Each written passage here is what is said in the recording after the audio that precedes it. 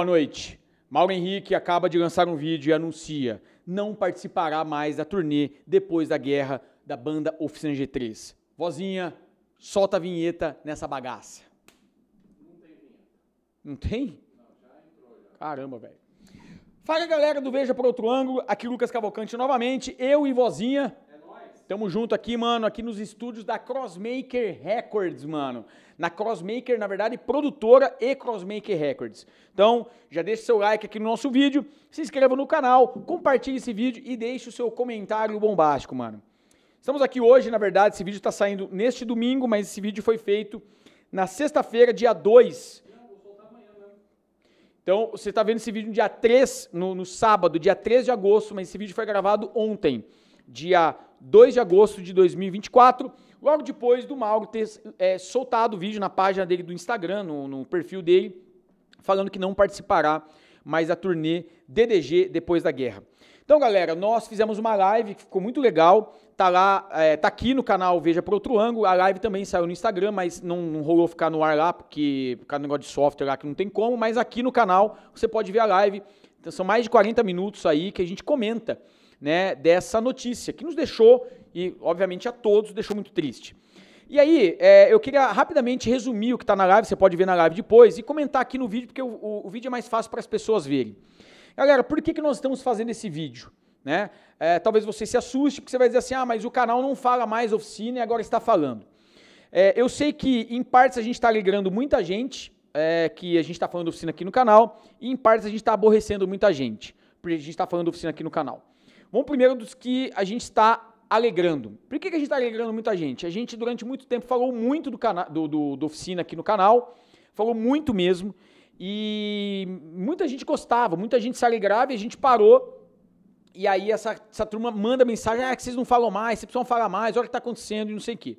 Então a gente está alegrando essas pessoas hoje. E a gente está aborrecendo outras pessoas, uma grande parte também, porque essa grande parte aborrecida sempre xingou literalmente a gente, porque é, você só fala da oficina, esse, esse, canal é puxadinho da oficina G3, só fala da oficina tal. Então a gente está voltando a falar, essa galera está criticando. Então, galera, é, a gente ficou é, a história do canal Veja por Outro Ângulo se confunde né, com Oficina G3, porque a gente fala muito da oficina mesmo, na história do canal. E a gente parou, diversas coisas aconteceram, a gente já falou muitos, muitos vídeos aqui, e a gente parou um pouco de falar também, é, até para a gente abrir outras é, possibilidades para falar no canal, e a gente precisava fazer isso mesmo.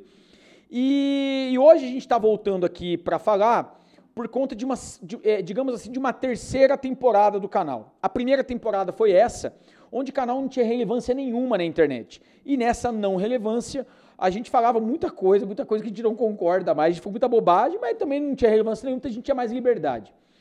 É, na segunda temporada do canal, digamos assim, a gente continua falando muito, sem muito filtro, e a gente começou a perceber esta relevância que Deus nos deu.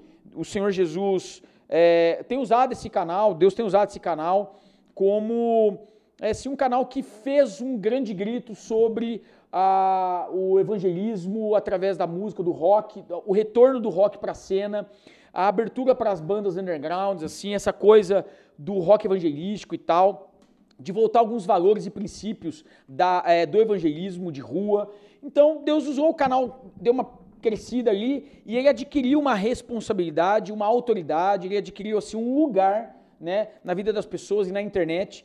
E a gente, é, é, principalmente eu, demorei muito a reconhecer isso.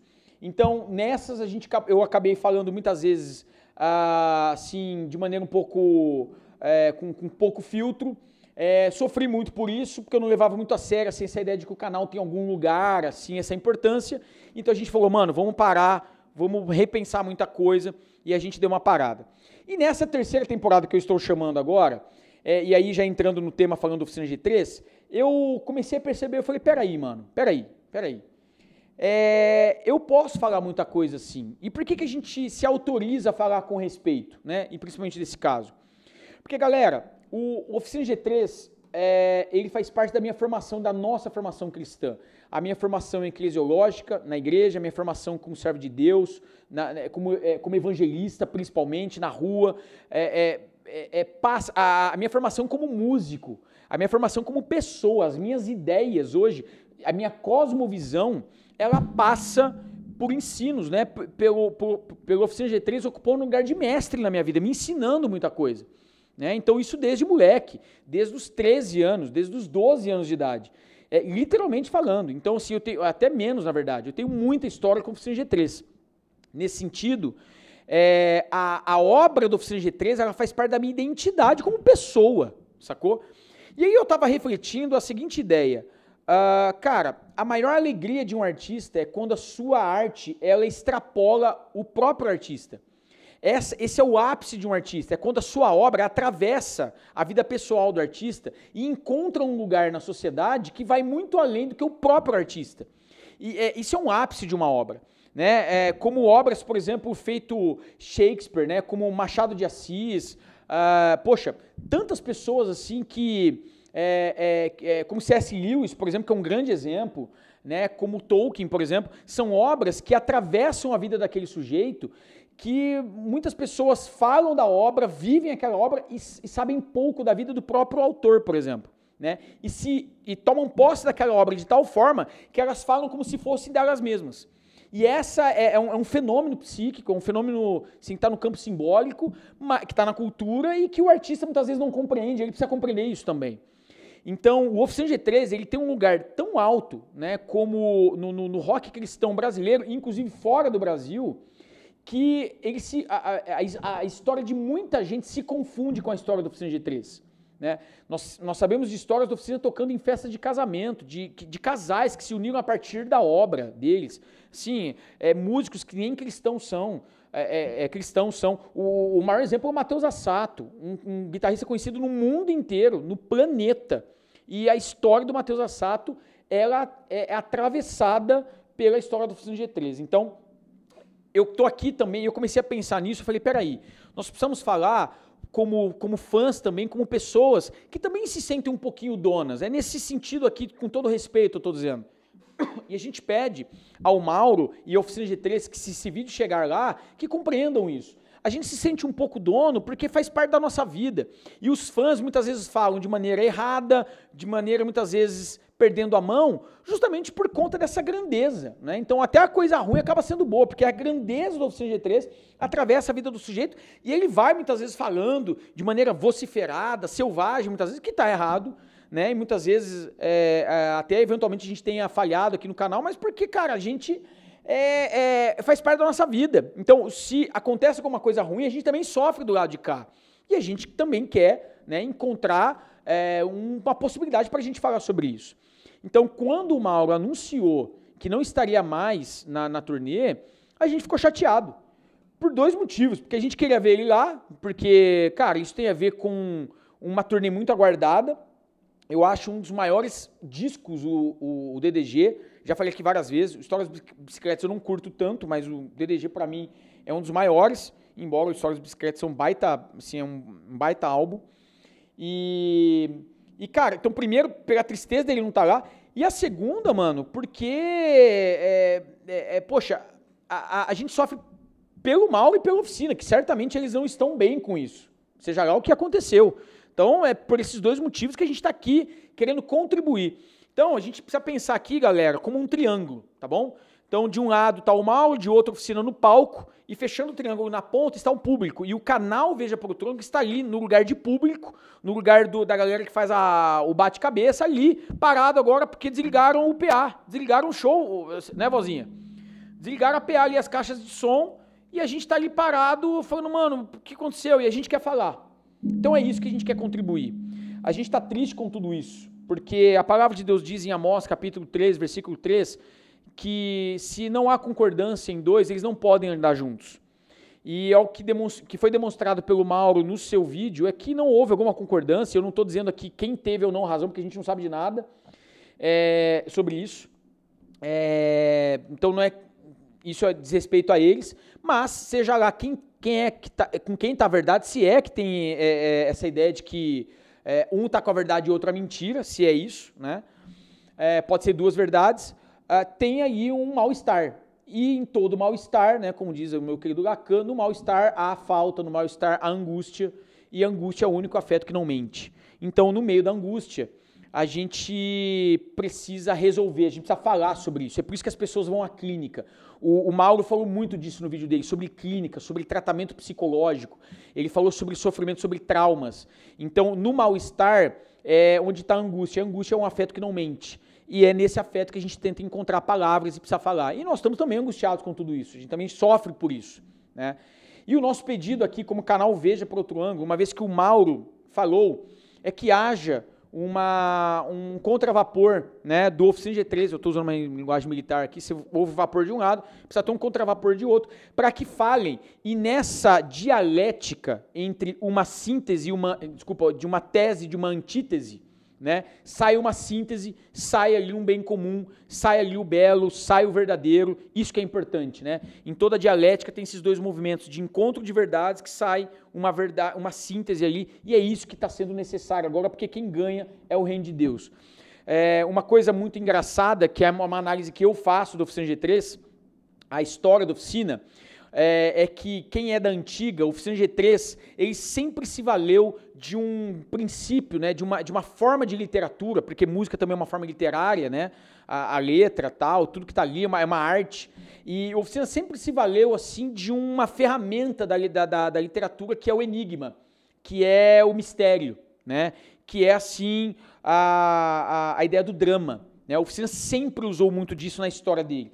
Então, quem é da antiga sabe que você usou isso lá nos vídeos, é, no, desculpa, no, no, nos primeiros sites, nos encartes, nas músicas. A gente sempre tinha um barulho estranho, uma, uma produção musical que tinha alguma coisa, o Gera, né, o grande produtor da oficina, sempre usou disso. Sempre tem alguma coisa que fica meio mal resolvida. Caramba, uma música que termina do nada, um barulho final, um barulho que parece que o disco está arriscado lá na música Caminho do, do Tempo. O CD Indiferença tem muito disso, de barulhos, na música Davi, no início da música do o, Fé, é, tem muito assim de umas coisas que você não entende muito, caramba, o que, que é isso, o que, que tem ali e tal. No fim do disco Indiferença, fica um tempão lá em silêncio, em silêncio, e daqui a pouco aparece lá, glória, glória, do nada aparece isso. Então, é, a oficina sempre, na história deles, sempre se valeu disso. Quando eles iam, eles iam é, lançar uma obra, um disco, fazia sempre assim um, um, um suspense, um, tinha uma ideia dramática ali, tinha um enigma, tinha um mistério, e hoje, com o advento das redes sociais, eles estão usando disso assim, de maneira maestral, manjam muito, fizeram isso com a turnê ah, do Humanos, entupido de enigma, a gente até fez paródia disso no canal Veja Por Outro Ângulo, fizeram isso na, na Doc Indie, estão fazendo isso agora com o DDG, e eles sabem usar isso, eles são muito bons nisso, os, os, os clipes da oficina são carregados de de simbolismos, assim, de, eh, de, de mistério tal, sempre usaram disso. Mas como toda habilidade, também ela tem um escape, ela tem um excesso. Como toda habilidade de artista, o artista sempre tem um excesso. Né? Você vê isso, por exemplo, nas obras do Di Cavalcante, no surrealismo, sempre tem alguma coisa que escapa, que fica demais, fica muito carregado, que isso faz parte da, da arte também. E oficina, se valendo sempre disso, na, é, é, quando o assunto era real, quando o assunto tem a ver com. É, porque saiu um, um, um, um, integrante, quem que vai assumir, quem que vai entrar, é, questões de polêmicas envolvendo integrantes, histórias assim é, sobre o Oficina G3, coisas que falavam da oficina que eram erradas muitas vezes. O Oficina sempre ele usou muitas vezes de também de uma fala mais é, enigmática. Aqui por enigma eu estou dizendo aquela fala que diz sem dizer, uma fala mais é, muito, muito sempre polida, tal. Claro, para evitar muitas vezes mais polêmica, mas muitas vezes nessa fala acabava, acabava se gerando mais dúvida do que clareza. E essa sempre é, é, a gente encontra isso na história da oficina G3. Mas sabe também o que eu lembro, galera? Quem lembra é, do, dos áureos, do, dos saudosos tempos de Feira da Música em São Paulo, na Expo Center Norte, não sei o quê? Quem lembra das feiras da música? O, o Juninho, né? Juninho com a Nig, né, André? É, Nig, Washburn na época, depois foi para Tajima, não sei o quê. Quem lembra do Gianna Kurzewai ou, o próprio é, Valtão com a Zildjian, com Pearl, é, é, o, o, o, Duca eu não lembro da, da, das marcas, que agora me, me, fugiu aqui. Mas quem lembra quando a oficina tava. É, era a primeira banda que estava no meio dos heavy metal, do, dos caras do secular, e eles transitavam nas feiras da música com, assim, com muita fama, né? principalmente o Juninho, que foi o maior expoente. Quem, quem, eu, eu tava lembrando disso, naquela época, quando tinham lá os workshops do Juninho, de, de, de, que eram entupidos assim os estandes da Tajima, da Washburn, não sei o quê. Quem lembra da, da, da NIG? É, as pessoas iam lá para discutir música, não. Muitas vezes pegavam assim, levantavam as mãos no meio de um bando de gente que não conhecia Cristo para fazer perguntas para o Juninho do tipo: pode usar brinco? É pecado? É, cristão com cabelo grande pode? É pecado usar tatuagem? E o Juninho ali falou: mano, tá falando de música, o que, que vocês estão falando? O Juninho muitas vezes ele, ele encarava a polêmica, porque nos anos 2000 essa era a polêmica da igreja, né? Se pode, não pode. É pecado não é? O brinco, não sei, cabelo grande, não sei o quê. O rock é do diabo. E o, o, Juninho nunca, oficina, né? Os meninos também, Jean, eles nunca fugiam dessas respostas. Eles sempre falavam com muita clareza e falavam do que acreditavam. Então, nesses momentos, eles não usavam de enigmas. Nesses momentos, a oficina sempre falou como isso é isso, e pá, e dava na lata, e por isso que na igreja é, era polêmica. Mas eles não estavam nem aí, porque era pela verdade do evangelho. Agora, para a pessoa que estava no secular, não era polêmica, era muito clara a resposta. E a oficina ganhou muita gente para Jesus por serem muito claros na pregação, na predicação da palavra, na pregação do evangelho, né, no palco, sempre muito claros, com músicas enigmáticas, com músicas evangelísticas, mas na hora de pregar era sempre muito claro. E talvez com o tempo, quando o advento da internet, das redes sociais, isso acabou ficando assim mais difícil, porque é o corte que dá polêmica, que gera o tiro que sai pela culatra, é, é um posicionamento que gera mais problema, é uma palavra que pode gerar um problema. Então hoje a gente está numa sociedade muito do mimimi, qualquer coisa que fala pode gerar é, coisa muito grande. E oficina acabou ali, na minha opinião, muitas vezes ali ficando mais ali nesse campo enigmático, né? com uma fala muitas vezes que não é tão diretiva e clara e reta é, e, e, muitas vezes sem, é como a gente está falando, falar sem falar, né? É, é, muitas vezes necessariamente usando uma, uma, assessoria, usando alguém da produção. Então, com o vídeo do Mauro, que foi um vídeo muito claro, sem cortes, o Mauro abre questões ali da sua intimidade terapêutica, questões assim da sua vida tal. Novamente, não estou entrando no mérito se o Mauro está certo ou não, que isso é uma, é uma questão deles, mas ele é muito claro no que ele fala. Então, talvez agora era importante que a oficina, na pessoa, seja do Juninho, como é o líder, ou do, do, do Juninho, do Duque e do Jean, né, e, e da banda, e somente a banda, que eles apareçam ali e digam também, olha, pessoal, é assim, assim, assado, aconteceu isso, isso, aquilo. Não de serem explícitos, pelo contrário, porque a intimidade tem que ser guardada, mas no sentido de poderem se, se posicionar de uma forma, e aí que está o lance, e do jeito que eles escolherem, mas de uma forma clara que salve a turnê. A oficina está aí falando da turnê, cara, a turma tá, o Brasil inteiro está esperando, e quem tem a ganhar é o reino de Deus. Então, o nosso pedido como plateia aqui, queridos Oficina G3, Juninho Afran, Duca e Jean, é que haja um posicionamento rápido, né, é, para que uh, isso não gere mais, assim, porque isso é muito marca dos fãs da oficina por conta dessa coisa da oficina do, do, do, do enigma, do mistério, acaba assim, entrando muitas vezes num um pensamento persecutório, ele vai querendo mais coisa, mais coisa, mas fica um negócio tão grande e que muitas vezes gera mais ferida do que, do que cura. Então, o nosso pedido como fãs é que, mano, se posicionem. Vai lá, mano. Fala, o, o Juninho é muito bom, né? De, de, de, de, de falar com essa polidez e tal. Vai lá, mano. Vai lá, liga a câmera, vai, é isso aqui. Tá, e, e papo reto, é isso aqui, não sei o quê. Acabou, acabou. Galera, turnê dia tal, dia tal, dia tal. Porque quem vai ganhar é o reino de Deus. Esse é o nosso, é a nossa ideia, né, vozinha? É isso que a gente acredita. Porque, galera, e aí é uma coisa muito importante. Quem ganha no final, como eu estava dizendo, é o reino de Deus. Nós tivemos assim um grande exemplo de Mauro e oficina, né, brincando aqui agora na palavra de Deus, que é Paulo e Barnabé. Paulo e Barnabé tem uma dissensão por conta de João Marcos, era uma treta pessoal. Paulo não queria porque falou que João Marcos foi foi worshipeiro, que João Marcos foi foi worshipeiro. Ah, moleque, ele me largou na, na, na na minha primeira turnê, na minha primeira viagem missionária, o Orspero não aguentou, e agora nessa segunda não vai. E Barnabé, não, vamos levar ele e tal. Os dois tiveram uma dissensão tão grande que houve uma separação. Paulo, é, Barnabé, provavelmente indo ali para a região da Ásia, pregou o evangelho, e Paulo foi para a Europa, chegando até Roma. Quem ganhou? O evangelho. Pergunto, Deus pesou a mão sobre Paulo? Não. Deus pesou a mão sobre Barnabé? Não. Deus exortou a ambos? Não, não tem isso na Bíblia. É como se Deus dissesse, mano, essa treta de vocês, não vou nem entrar nesse rolê, tem muito mais coisa para me preocupar. Meu espírito tá aí com vocês para dar luz a vocês o que vocês vão fazer. ó, resolvam, sacou? Eu vou usar esse negócio aqui para o evangelho ser propagado na Europa e na Ásia, e por conta disso, né, o evangelho chegou à América do Norte, chegou ao Brasil, nós somos frutos disso. E, e lá no final da vida de Paulo, Paulo chama Marcos para dizer: traga-me Marcos porque ele me é útil no ministério, porque há tempo para todo propósito. Então lá na frente as coisas elas se ajeitam. Agora talvez é tempo de se afastar. Né? O nosso desejo é que seja resolvido para que eles se juntem, é, que o Mauro faça a turnê.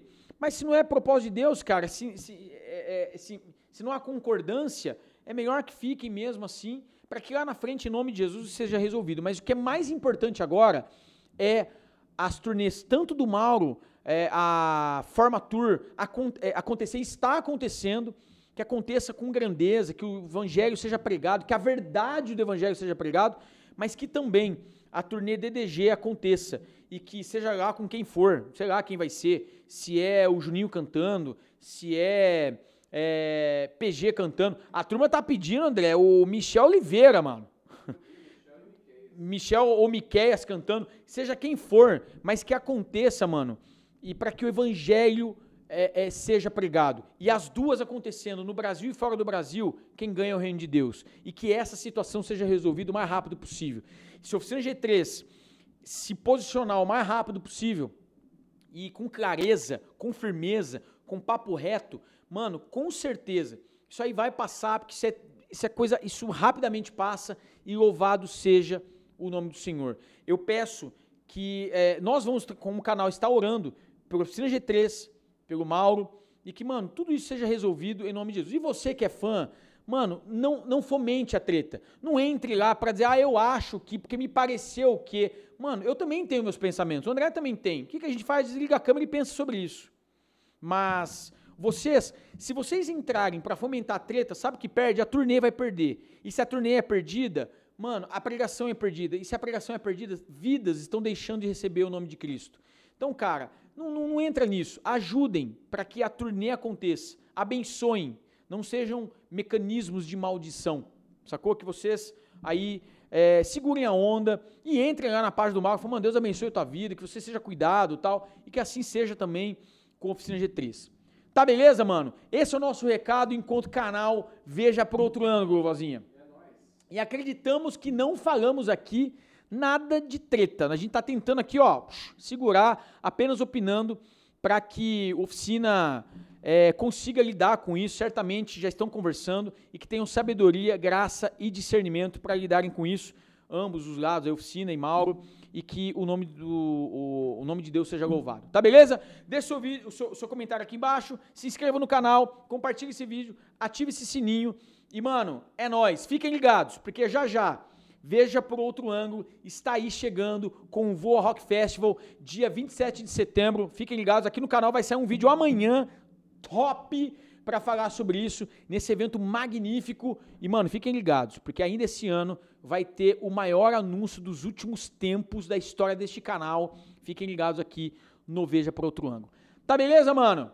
É nós. É Veja sempre por outro. Ah, mano, e só uma coisa. Só uma piadicas aqui no final.